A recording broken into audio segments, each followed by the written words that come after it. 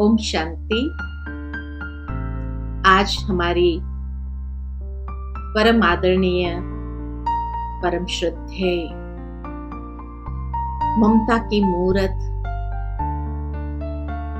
ज्ञान रत्नों की खान आदरणीय प्रकाशमणि दादी जी का चौदहवे पुण्य स्मृति दिन पर उनकी शिक्षाएँ। मधुर स्मृतियों को याद करते हुए, जैसे हर एक बात नैनों के सामने तरोताजा हो जाती है। आज स्वयं को मैं सौभाग्यशाली समझती हूँ कि ऐसे बाबा की चुनी हुई विशेष मुन्नी मम्मा के सानिध्य में रहने का मुझे सौभाग्य प्राप्त हुआ। दादी जी की एक एक बात जब स्मृति में आती है तो ऐसा लगता है कि अद्भुत गुणों की खान थी वैसे तो दादी जी के सानिध्य में ही मेरा समर्पण हुआ। 1980 में। और उस समय दादी जी ने बड़े प्यार से उज्जत के साथ सभी को यही सुनाया क्लास में कि अक्सर बहनें अपने सेंटरों पर समर्पित हो जाती है, परंतु आज मधुबन को एक कन्या प्राप्त हो रही है, जिस पर दादी जी का हक है। मधुबन का हक है। मुझे बहुत अंदर में ये महसूसता हुई। और उस दिन से लेकर के यही फीलिंग आई। मैं मधुबन निवासी उसके बाद दादी जी ने विशेष मुझे बॉम्बे भेजा। लेकिन ये कहते हुए ही भेजा कि जब भी मधुबन की आवश्यकता होगी तो दादी तुझे ज़रूर बुला लेगी। मुझे हर समय ये फीलिंग रहती थी, मैं मधुबन की और इस तरह से जब भी दादी जी का बॉम्बे आना होता था, तभी भी मुझे एक विशेष निकटपन का अनुभव होता था। यही महसूस होता था दादी मेरी है और बड़े प्यार से दादी मुझे गले लगा लेती थी। खूब सारा प्यार लुटाती थी। मुझे याद आती है घटना कि जब दादी जी बॉम्बे आए थे और दादी जी का प्रोग्राम सेंटर पर था, मुलुंद सेंटर के कोई नया सेंटर खुल रहा था तो वहाँ पर दादी को जाना था ओपनिंग के लिए। दादी के साथ मोइनी बहन तो हमेशा साथ रहती थी। तो उस समय जब वहाँ से भाई आए लेने के लिए दादी जी को ले जाने के लिए तो योगिनी मैन ने मुझे कहा कि ऐसा करो, तुम दादी जी के साथ चले जाओ। उस समय कोई गाड़ियों का काफिला तो होता नहीं था। वो एक गाड़ी आई थी, क्योंकि सेंटरों पर भी गाड़ियों का, गाड़ियों वाले भाई बहने बहुत कम आते थे। तो इसीलिए वो एक गाड़ी आई थी जिसमें दादी जी मोइनी दीदी और मैं। ऐसे हम तीनों को जाना था। परंतु ऐसा हुआ कि जैसे ही हम वहाँ से निकले और करीबन एक घंटा का रास्ता तय किया, दो घंटे का टोटल जर्नी था तो एक घंटे का रास्ता तय करने के बाद उस भाई की गाड़ी खराब उन दिनों में मोबाइल फ़ोन तो थे नहीं। तो मुझे बड़ा खराब लग रहा था कि गाड़ी चल नहीं रही, भाई ने देखा और कह दिया कि अभी एक गाड़ी तो खराब हो गई दादी।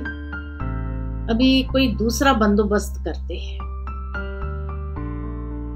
और मैंने किसी दुकान में जाकर के लैंडलाइन से फ़ोन किया, योगिनी बहन को। तो कहा, अभी अगर मैं गाड़ी भेजूं भी कोई तो एक घंटा आप लोगों को ठहरना पड़ेगा. तो दादी जी से पूछो कि भाई, आप लोग कहीं ऐसी व्यवस्था है ठहरने की एक घंटा? क्योंकि उन दिन बॉम्बे में भी बहुत कम सेंटर्स होते थे। बड़े बड़े पड़ाव में तो सेंटर्स होते थे। लेकिन छोटे छोटे स्थानों में तो सेंटर नहीं होते थे। और जहाँ जाना था वहाँ भी एक घंटा और लगना था वहाँ से भी गाड़ी आएगी तो भी एक घंटा लगना था तो दादी जी से पूछा कि हम एक घंटे के लिए वेट करना पड़ेगा जब तक दूसरी गाड़ी आएगा दादी जी इतनी निर्माण चित दादी जी ने कहा कि हम एक घंटे के लिए वेट करेंगे, वहाँ कितने भाई बहने खड़े होंगे? क्योंकि ओपनिंग का जो टाइम दिया था उसके हिसाब से तो सारे भाई बहने एकत्रित हो गए होंगे। तो दादी जी ने कहा, ऐसा करो, एक घंटा वेट क्यों करें हम? गाड़ी आने तक एक रिक्शा बुला। क्योंकि उस एरिया में टैक्सीज नहीं होती थी, उन दिनों में रिक्शा चलती थी। तो दादी जी ने कहा, ये रिक्शा बुला लो और हम तीन ही तो है तो तीनों बैठ जाएँगे रिक्शा में पहुँच जाएँगे। मुझे बड़ा खराब भी लग रहा था कि दादी जी को मैं रिक्शा में कैसे ले जाऊँ। लेकिन कोई टैक्सी नज़र नहीं आ रही थी, क्योंकि टैक्सी मेन बॉम्बे में चलती थी, पराओं में इस तरफ़ नहीं चलती थी, रिक्शा ज़्यादा चलती थी। मोइनी बहन के तरफ़ में देखने लगी मोइनी बहन ने कहा हाँ दादी ने कहा है ना, चलो, एक रिक्शा कर। पहुँच तो जाए टाइम पर हमने एक रिक्शा बुलाई और रिक्शा में हम तीनों बैठ गए। दादी, मैं और मोहिनी बहन, तीनों एक रिक्शा में बैठ करके जिस स्थान पर हमें जाना था, वहाँ पर पहुँच गए। सभी लोग तो इंतज़ार कर रहे थे कि दादी अभी बाय रोड कार में आ रही है, लेकिन जब रिक्शा से उतर करके हम सभी को देखा सभी आश्चर्यचकित हो गए थे। लेकिन उस समय मैंने दादी जी की यह निर्माणता देखी कि दादी जी को यह भी नहीं कि भाई दूसरी गाड़ी आने तक हम वेट करें। ये दादी जी को ज़्यादा चिंता थी। इतने भाई बहने इकट्ठे हो रहे हैं और हम कितना समय लेट पहुँचेंगे, एक घंटा गाड़ी आने तक रुकेंगे और एक घंटा जाने, दो घंटा हमें रुकना पड़ेगा। इतना टाइम वेस्ट क्यों करें? समय पर पहुँच जाना ही उचित रहेगा। और उसके लिए दादी रिक्शा में बैठ करके हमारे साथ चली। ये दादी जी की निर्माण था हमने उस वक्त अनुभव किया। तो इसलिए कहा कि दादी जी को कभी भी ये फीलिंग नहीं थी कि मैं एडमिनिस्ट्रेटिव हेड हूँ। ये अहंकार दादी जी के अंदर कभी नहीं देखा। दादी का जो स्लोगन था, निर्माण निर्माण और निर्मल वाणी, ये प्रैक्टिकल दादी जी की अपनी धारणा थी।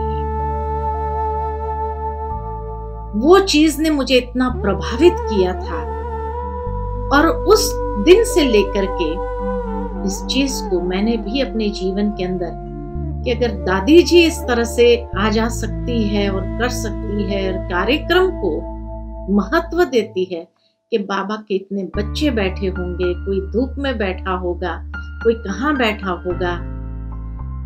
इससे तो समय पर पहुँच जाना ही उचित रहेगा। उसके बाद जब मैं हैदराबाद गई, जहाँ रमा कुमारी के द्वारा पहला मैनेजमेंट सेंटर खुला था तो उस मैनेजमेंट सेंटर के ओपनिंग पर परम आदरणीय दादी जी पहुँचे थे और जब उसका ओपनिंग किया तो उस समय ओपनिंग करने के बाद दादी जी ने मुझे बिठाया और कहा कि देखो, ये कंपनी वाले लोग हैं और इनके अपने नज़रिया होते हैं। तुम अपने जीवन को ऐसा आदर्श बनाना, क्योंकि तुम्हें बाबा का नाम वाला करना है। और इसीलिए अपने जो नियम सिद्धांत है, उसको भी कायम रखते हुए, उनकी जो भी बातें हो या उनके जो भी तरीके हो,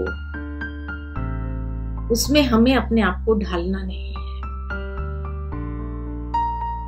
और बहुत प्यार से दादी जी ने जैसे आशीर्वाद देते हुए वहाँ से गए मधुबन पहुँच करके दादी जी ने एक पत्र लिखा मुझे, जो पत्र आज भी मेरे पास है। और दादी जी ने यही कहा कि, देखो, ये जो बाबा का मैनेजमेंट सेंटर खुला है, ये मत समझना कि बॉम्बे से खुला है, ये मधुबन से खुला है। और मधुबन ने तुमको यहाँ बिठाया है। बाबा ने तुमको बिठाया है यहाँ पर। और इसीलिए तुम्हें कभी भी कोई भी चीज़ की आवश्यकता हो या कोई भी बात ऐसे करनी हो तो तुमने संकोच होकर के दादी के पास आ सकती हो, दादी से बात कर सकती हो। मना, कभी भी हमें ये फीलिंग नहीं होने दिया कि हमको कहीं अकेले में दादी ने छोड़ दिया। और हम कैसे करेंगे, क्या करेंगे? लेकिन हर वक्त हमें यही महसूस होता था कि हम मधुबन के तरफ़ से हैदराबाद के इस मैनेजमेंट ट्रेनिंग सेंटर में है। और इसलिए निरंतर ये अनुभव करते थे जैसे दादी जी की शुभ भावनाएँ, आशीष हमारे साथ है। और इसलिए जो है, वहाँ कोई भी कार्यक्रम करते थे तो हमें हर वक्त ये स्मृति रहती थी कि हमें बाबा का नाम बाला करना बाबा ने एक नई सेवा का द्वार खोला है। और उसके लिए अगर दादी ने हमें निमित्त बना करके यहाँ रखा है तो ज़रूर बाबा का इसमें कुछ न कुछ विशेष कार्य समाया हुआ होगा। तो हर वक्त हमें दादी जी का जैसे ब्लेसिंग्स महसूस होता रहा और सदा ये फीलिंग आती रही कि दादी जी हमारे साथ है। उसके बाद जब मैं हैदराबाद से ही एक ग्रुप को लेकर के गई माउंट आबू, शिविर के निमित्त। तो जैसे ही हमने द्वार से प्रवेश किया, पता नहीं, एक अलग सी फीलिंग मुझे आ रही थी, खास करके जब मैं ट्रेन से हम आबू रोड पहुँचे। और आबू रोड से माउंट जब बस में जा रहे थे। पता नहीं, ये दृश्य देखते हुए मुझे अंदर में ऐसे ख्यालात आ रहे थे कि दादी जी को भी जब बाबा ने बुलाया था 1969 में, और दादी जी को कहा कि भाई, आपको ये कारोबार संभालना है तो दादी जी ने कभी पीछे मुड़ करके ये नहीं कहा कि बाबा मेरा सेंटर है मेरी ये सेवाएँ हैं। मैं किसी को सौंप कर आती हूँ। कुछ नहीं। और इतनी समर्पित बुद्धि होकर के दादी ने बाबा की हर बात को सिर माथे करके स्वीकार किया। उस दिन जब हम भी माउंट चढ़ रहे थे, सारे दृश्य प्रकृति के जो हरियाली थी, उसको देखते हुए मन में यही संकल्प आया कि मान लो कि मुझे भी दादी जी अगर कहे कि तुम्हें यहाँ रहना है तो मुझे क्या करना चाहिए? क्यों ये विचार आ रहे थे मेरे मन के अंदर, मुझे पता नहीं। लेकिन जैसे जो होनी होती है, वो जैसे पहले से ही वो संकल्प मन के अंदर आरंभ हो जाते हैं। तो मेरे मन में यही आया कि जैसे दादी जी ने किया, ऐसे ही मुझे भी करना और इसीलिए जैसे ही मैं गेट में प्रवेश हुई ग्रुप को लेकर के और शशिबेन के ऑफ़िस में गई, दादी जी आँगन में बैठे थे और दादी जी ने हाथ के इशारे करते मुझे बुलाया और बुलाकर पूछा, कितने दिन के लिए आई? मैंने कहा, दादी, ये ग्रुप को लेकर आई हूँ शिविर के लिए। और इसके साथ ही पाँचवें दिन में चले जाएँगे। दादी ने तुरंत मुझे कहा, टिकट कैंसिल करा दो, ग्रुप को भले जाने दो, और तुम यहाँ रुक जाओ। कोई खास सेवा तो नहीं है हैदराबाद मैंने कहा, नहीं। तो कहा, दादी चाहती है कि तुम थोड़ा दिन यहाँ रुको। रास्ते में मुझे जो संकल्प आ रहे थे और मैं सोचने लगी कि ऐसे कैसे हो सकता है कि जो मैं सोच रही थी, और दादी ने वही बात कही? है उसके बाद दादी ने मुझे पूछा कि तुम चन्ना रेड्डी को जानती हो? कभी मिली हो उसको? मैंने कहा हाँ रक्षाबंधन के समय मिली थी। उनके पास हम गए थे राखी बांधने के लिए।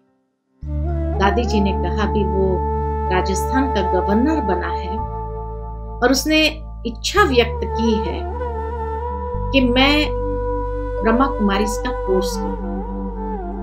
शीलूबेन तो शिविर में बिज़ी है, वो जा नहीं सकती है। शशि बेन भी शिविर में बिज़ी है, वो भी जा नहीं सकती है। तो मैं सोच रही थी किसको बुलाऊं अच्छा हुआ। तुम आ गई और तुम मिली भी हो उसको तो उसको कोर्स कराएगी? मैंने कहा, जी दादी। का रोज राजभवन जाना पड़ेगा। तुम एक बार वहाँ जाकर के देख के आओ। और वहाँ जो प्रकार की तैयारी करनी है, उसने कहा, कहलवाया है कि यहाँ ही बैठ करके हम कोर्स करेंगे। इसीलिए यहाँ पर आपको जो चाहिए, जैसा चाहिए, वैसा तैयार करके हम दे सकते हैं। मैंने कहा दादी, अगर बाबा का कमरा जैसा कुछ बनाए बाबा का फ़ोटो अगर वहाँ लगाए और वहाँ बैठकर करे तो एक वाइब्रेशन और नीचे सफ़ेद चद्दर अगर बिछाई जाए तो बहुत अच्छा रहेगा। एक वाइब्रेशन बना रहेगा। दादी ने कहा, ठीक है। दादी ने तुरंत भाइयों को कहा, जैसा ही उसको चाहिए वैसा बना करके दो। और फिर उसका कोर्स आरंभ हुआ। और कोर्स के दौरान जो है मेरी हर बातें रिकॉर्ड होती थी। मैं शाम को जाती थी कोर्स कराने के लिए। साढ़े छह बजे से साढ़े सात बजे तक कोर्स कराती थी। जैसे ही वहाँ से कोर्स करा के आती थी कि दादी जी बाहर ही बैठी होती थी आँगन में। कितना कोई कहे कि, दादी, आप भोजन कर लो पहले। दादी कहती, नहीं, उषा भी आई नहीं है। दादी जी को यही रहता था कि छोटी है। वहाँ पता नहीं उसने क्या क्या प्रश्न पूछा होगा इतना बड़ा, और मालूम था कि डॉक्टर चन्ना रेड्डी बहुत बुद्धिमान है, होशियार है। और किस लिए उसने ये बात कही थी कि मुझे कोर्स करना है? तो इसीलिए दादी जी इंतज़ार करती थी आते, जैसे ही मैं आती थी तो पूछती थी अच्छा कुछ बातचीत हुई? उसने कुछ पूछा? सात दिन तक तो कुछ नहीं पूछा था उसने। लेकिन जैसे ही सात दिन का कोर्स पूरा हुआ, आठवें दिन उसने कहा कि अब कोर्स पूरा हो गया, अब मुझे कुछ सवाल पूछने हैं। और उस दिन सवाल जवाब करते करते करीबन दो घंटे हो गए साढ़े सात के बदले साढ़े आठ, पौने नौ हो गए नौ बजे तक दादी जी ने भोजन नहीं किया। क्यों नहीं आई? कितने लोगों को भेजा, लेकिन एडीसी मना करता था, अभी डिस्कशन चल रहा है। अंदर कोई जा नहीं सकते हैं।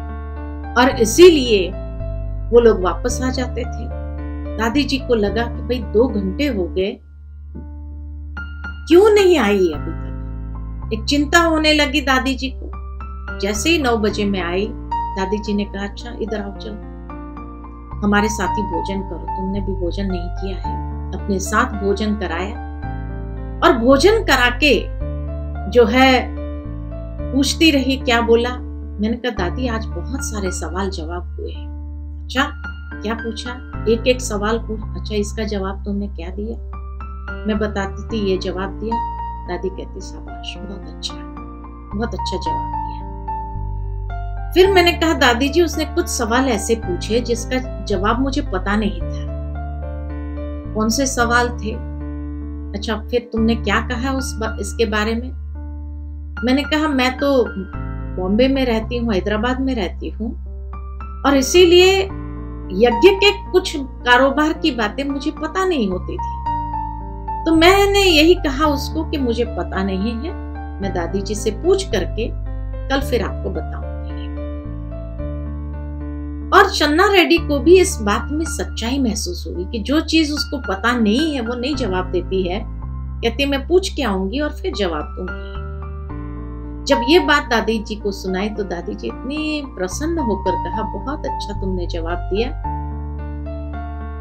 और फिर जैसे मुझे एक एक सवाल का क्या जवाब देना है दूसरे दिन, वो भी बताया और बता करके फिर जैसे तैयार करके भेजा कि अब आज इन बातों जवाब देना है। ना? हमारी दादी जी ने ये बात सुनाई है।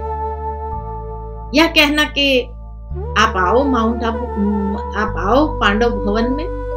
और पांडव भवन में दादी जी आपको इन सभी बातों का जवाब दे देंगे। सचमुच में जैसे ही मैंने ये बात कही उसको कहा ठीक है? मैं कल शाम को आता हूँ पांडव भवन में और दादी जी से स्पेशल मुलाकात करूँगा। बहुत अच्छा लगा और दादी जी से जब मिले, दादी जी ने जो उनके प्रश्न थे, उनका जवाब दिया तो दादी जी को हर एक बात का जवाब देते हुए दादी जी की तो सरलता ऐसी होती थी, निर्माणता ऐसी होती थी, दादी जी के विचारों की स्वच्छता ऐसी होती थी, जो कोई भी आत्मा प्रभावित हुए बिना रह नहीं सकते। और इसलिए वो इतना प्रभावित होकर के, इतने सरलता से दादी जी की हर बात को सुन करके स्वीकार करते रहे और हर बात को एक्सेप्ट किया। इसी से ही मेरे जीवन में एक नया मोड़ आया कि जब चन्ना रेड्डी निमित्त बने ज्ञान सरोवर के प्रोजेक्ट को पास करने के लिए क्योंकि गवर्नमेंट के हिसाब से माउंट आबू की लैंड नॉन कन्वर्टेबल थी। जहाँ पर कोई भी प्रकार का कंस्ट्रक्शन नहीं होता था, लेकिन उसने विशेष मदद करके उसको कन्वर्ट कर दिया और बिल्डिंगें बनने लगी। ज्ञान सरोवर का कारोबार बहुत शीघ्रता से हुआ। और उसके बाद जैसे ही उसने दादी जी से कहा कि मैं जयपुर में भी ऐसी एक सेवा कराना चाहता हूँ, जहाँ सारे मिनिस्टर्स और आईएएस ऑफिसर्स को बुलाऊँगा। सचमुच में इतना सुंदर कार्यक्रम जयपुर में ऑर्गेनाइज किया उन्होंने। बड़ी दादी जी को इतना सम्मान दे करके वहाँ बुलाया। हम भी साथ में गए थे दादी जी के। और इतने क्रीम लोगों को इनवाइट किया था सारे जयपुर के। और उनके बीच में जो प्रोग्राम रखा देख देख करके जैसे दिल गदगद हो रहा था कि बाबा कैसी ही सेवा करा रहा है। और उसके बाद उसने दादी जी से कहा कि इन सब की सेवा, ये सबको भी कोर्स करना चाहिए। तो मुझे यही बहन चाहिए यहाँ जयपुर में। मैं एक मिनिस्टर कॉटेज देता हूँ। दादी जी ने उस समय मुझे देखकर कहा, अभी तुम बॉम्बे को, हैदराबाद को, टाटा बाय बाय करो। और अब अपना सारा सामान लेकर मैंने कहा दादी जी योगिनी मैन से बात करनी होगी। तो दादी जी ने कहा कि, योगिनी मैन से मैं बात करूँगी। परंतु अब तुम जयपुर जाओ। जब तक वो मिनिस्टर कॉटेज को अपने हिसाब से बना रहा था, मेडिटेशन रूम, हॉल, ये सब के हिसाब से उसने सारा कंस्ट्रक्ट करवाया रेनोवेट कराया एक मिनिस्टर कॉटेज को। लेकिन तब तक उनकी ट्रांसफ़र हो गई तमिलनाडु के अंदर। और तब फिर दादी जी ने कहा, अब तीसरा सेंटर खोलने की आवश्यकता नहीं, क्योंकि उन लोगों ने वापस मिनिस्टर कॉटेज तो ले लिया। तो दादी जी ने कहा भी ज्ञान सरोवर बन रहा है। बहुत प्यार से दादी जी ने मुझे बुलाकर कहा कि, देखो उषा, दादी की इच्छा यह है कि तुम मधुबन में रहो। लेकिन फिर भी दादी तेरी इच्छा जानना चाहती है कि तुम अगर कोई सेंटर पर जाना चाहती हो, वापस हैदराबाद जाना चाहती हो, बॉम्बे जाना चाहती हो, मेरी खुली छुट्टी है। लेकिन दादी की इच्छा यह है कि तुम मधुबन में रहो, क्योंकि अब एक शिलू पहुँच नहीं सकती है और ज्ञान सरोवर बनने के बाद तो यह सेवा का स्वरूप भी बदल जाएगा। बहुत विशाल हो जाएगा तो हमें ऐसी योग्य टीचर यहाँ चाहिए। मेरे मन में आया कि दादी जी एडमिनिस्ट्रेटिव हेड है। वो चाहे तो हमें ऑर्डर कर सकती थी कि अब तुम यहाँ रहो, तेरे को कहीं जाना नहीं है। लेकिन फिर भी दादी इतना निर्माण होकर के मुझे पूछे, तेरी क्या इच्छा है? सेंटर पर रहना है या मधुबन निवासी बनना है? मैंने कहा, दादी, आपकी इच्छा बाबा की इच्छा है और इसीलिए मुझे कोई आपत्ति नहीं है मधुबन निवासी बनने में. सचमुच, दादी जी ने जैसे ही ये बात सुनी तो इतना प्यार से मुझे गले लगा करके इतना प्यार दिया और कहा कि हाँ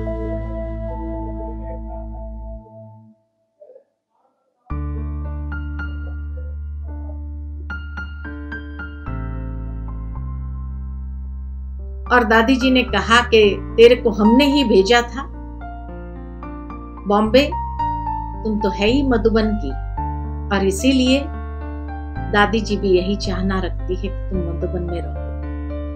लेकिन हाँ मधुबन में रहने के लिए एक बेहद का घर है, बेहद की भावनाओं के साथ यहाँ रहना होगा। सेंटर छोटा सा स्थान है वहाँ जो बातें आती है और यहाँ जो बातें आएँगी, उसके लिए दादी तेरे को पहले ही सतर्क करती है। ये भाइयों का घर है। बहुत सी बातें आ सकती है। लेकिन कोई भी बात हो, तुम आकर के मुझे सुना सकते हो। और सचमुच, कदम कदम पर जैसे दादी जी ने अपना वरद हस्त रखा हर समय मुझे आगे बढ़ाने का, जैसे दादी जी ने अपनी जिम्मेवारी समझी।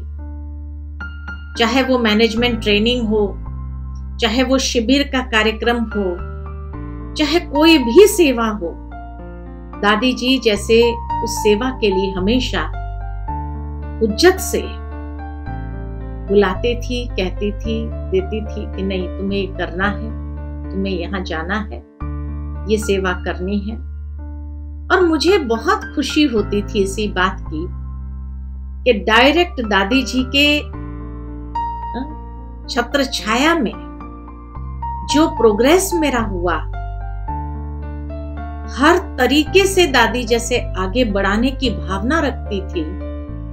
दादी जी जब देखती थी कि, किसके अंदर कौन सी विशेषता है और उस विशेषता को देखते हुए उसको आगे बढ़ाने के लिए जैसे ही डायरेक्शन देती थी तो बस उस डायरेक्शन के आधार पर चलते हुए प्रतिदिन आगे बढ़ना, हर कदम में प्रोग्रेस अनुभव करना, आध्यात्मिक जीवन के अंदर उन्नति का अनुभव करना, ये हमने दादी जी से जैसे वरदान के रूप में प्राप्त किया। और इसीलिए मधु बनाने के बाद विशेष सेवाओं के निमित्त दादी ने बनाया चाहे मैनेजमेंट ट्रेनिंग को लेकर के मैनेजमेंट की जो सेवाएँ होती थी, मधुबन से अनेक कंपनीज़ में भेजने का कार्य दादी जी का जैसे विशेष प्रेरणा रहती थी।